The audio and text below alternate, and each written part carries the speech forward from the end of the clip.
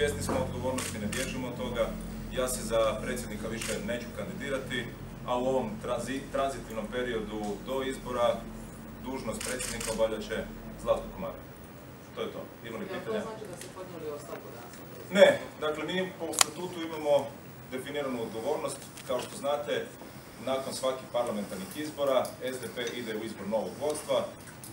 Predsjedništvo, ja osobno smo smatrali da je naš zadatak raspisati unutar stranačke izbore što prije i to će se vjerojatno dogoditi već sljedeći tjedan, dakle na sjednici glavnog odbora. Ono što je dobro, mi smo na prošloj sjednici glavnog odbora napravili pravila za izbor e, predsjednika stranke, za izbor članova predsjedničke stranke i članova glavnog odbora i ono s čim se ja mogu de facto vrlo ponositi je to što smo po prvi puta uveli obvezu rodnog pariteta u sva tijela stranke.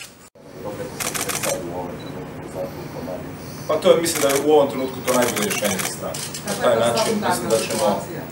Kakva je to statutarna situacija ako niste Uobičajena. ostavku, a imate VD-a? Uobičajeno, tako smo već jednom imali. Prema tome, to je nešto s čime se SDP već na neki način sustav. Pa kod Milanovića se to zvala ostavka, zašto se kod vas ne? Ne, ne, ista je situacija. Recite.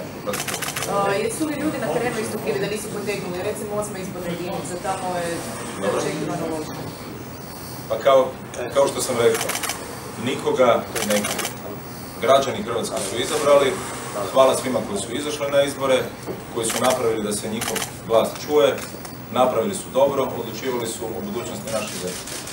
To je to. Kad će biti? Druga se otvore. Život je ponekad čudesno nepredvidiv. Nebo strpljive voli. Kao da ste jednim korakom vani, možete biti barem malo jasniji. Pa ne mogu vam ništa reći. Život je ponekad fenomenalno nepredvidiv. U tome je čar života. U ovom To me trenutku ta- planirate ozbiljnu politici. A? Osim što ćete konzumirati saborski mandat, planirate li u daljnjoj perspektivi ostati u politici? Niko ne zna što nosi sutra. Sasvim sigurno neću ostati na čelu SDP-a. Koga vidite na svom mjestu?